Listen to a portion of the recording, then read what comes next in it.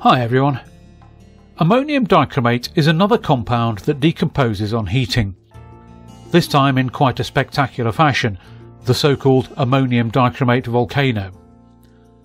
Like all chromium 6 compounds, ammonium dichromate is toxic and carcinogenic, so this experiment should be carried out in a fume cupboard, although there is an alternative I'll come to later. Put a small pile of the bright orange dichromate on a heat-proof mat and apply a flame.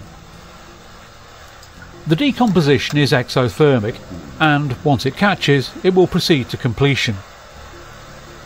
The reaction produces piles of a dark green powder, chromium 3 oxide, throwing up sparks and powder like a mini volcano, hence the name.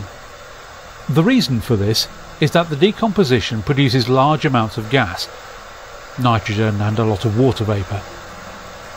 The chromium 3 oxide is a lower hazard but it will be contaminated with unreacted dichromate so avoid handling it. If you do not have access to a fume cupboard then you can carry this out in a large flask instead. Place the ammonium dichromate in the flask and plug the neck with a plug of mineral wool.